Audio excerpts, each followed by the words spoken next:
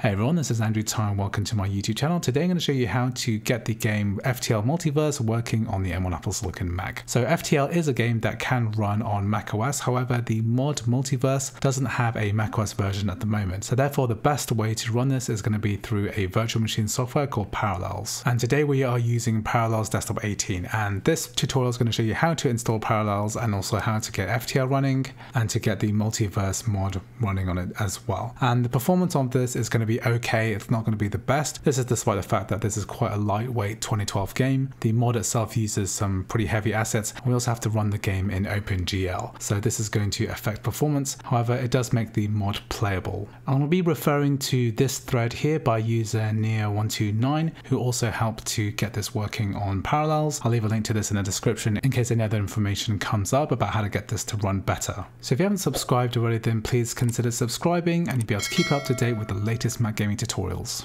So next we're going to download and install Parallels, which is the virtual machine software we're going to be using in order to run Windows 11 ARM on the M1 Apple Silicon Mac. So what I do recommend that you do is to click the link at the top of the description. This is going to take you to the Parallels download page. If you make a purchase after clicking this link, then you'll be helping to support my channel and the work that I do.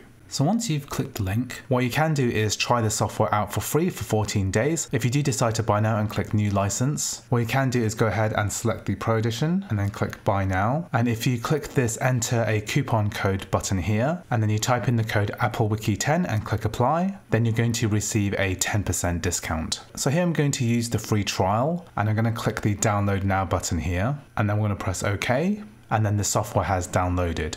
So now I'm going to navigate to my Finder and then go to my Downloads folder. And then I can see here my Windows 11 ARM is still downloading. However, I'm going to go ahead and install Parallels Desktop.dmg. So here we're going to double click on the installer.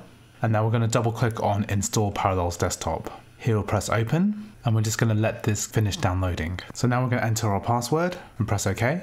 So once Parallels is installed, what we're going to do is to double click on Parallels desktop and then we're going to be met with this installation wizard. So here we're going to press continue and now what we're going to do is to select the option on the left which says get Windows 11 from Microsoft. So this is actually a new option which allows us to directly download Windows 11 without having to register with the Windows Insider program. So we're going to press install Windows and it's going to go ahead and download and install Windows 11 ARM directly from the Microsoft servers. And now we're going to let Parallels create that virtual machine for us. So now Windows 11 ARM is being installed and this is going through the setup process. And that's going through the setup process, we just have to wait for this to complete. So now that installation is complete, we're going to press the continue button here and Windows 11 has automatically maximized itself. You can see here that Windows, you can see here that there are various updates that are already being installed. So we're going to minimize this and we're going to close this browser window. So one of the main things to do when you first start is obviously let the updates all complete. A handy tip as well is to right click on the desktop here and then click display settings. And here we're going to configure the display resolution. So scaling is something that I always change to 100%. This is because sometimes games will crash if they're run at a higher display scale. So now we're going to to install Steam. So I'm going to click on the Microsoft Edge icon here, and then we're going to type in the web address steampower.com, and then we're going to click this button on the top right called Install Steam, and then we're going to be downloading and installing the Windows version of Steam so that we can play it on the M1 Apple Silicon Mac. So once that's downloaded, we're going to press Open File, press the Yes button here,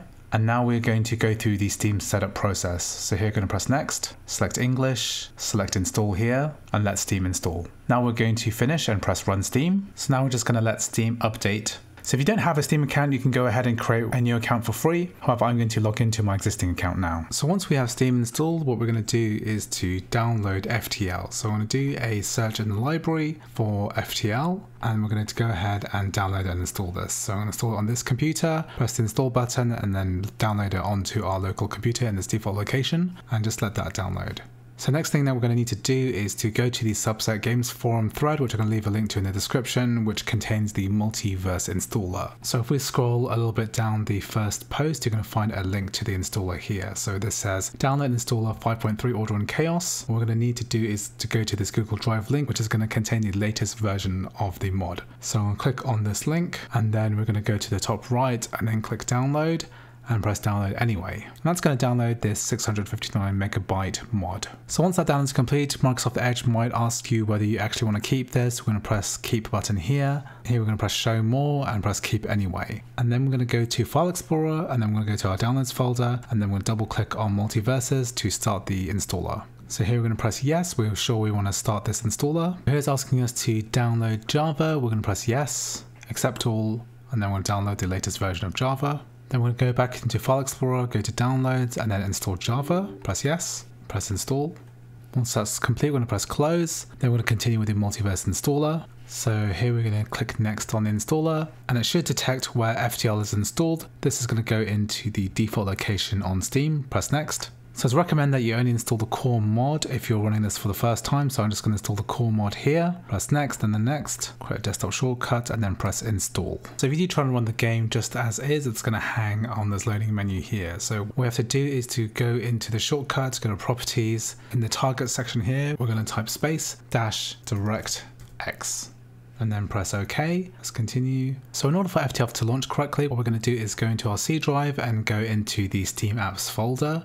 Double click on that and then go into Steam Apps and Common. And then we're going to find our FTL folder. Then we're going to go to Mods. So what we're going to do is to right click on the multiverse and then we're going to extract all into a folder. So once we have this folder, what we're going to do is to go to the image folder here and then we're going to take the first four of these star folders here. So stars underscore, we're going to cut and then paste them onto the desktop and keep them as a sort of backup. And then what we're going to do is to basically rename the original zip file call this one original and then we're basically going to right click on here and then compress this to a zip file so it goes back into a mod friendly format. So once this is complete we should have a new Multiverse 5.3 which is almost the same size as before. This is at about 80 megabytes of files removed from it and now we're going to move on to the next step. So on the desktop shortcut here we're going to right click and then go to properties and then within the target section here we're going to scroll all the way to the right then press space dash OpenGL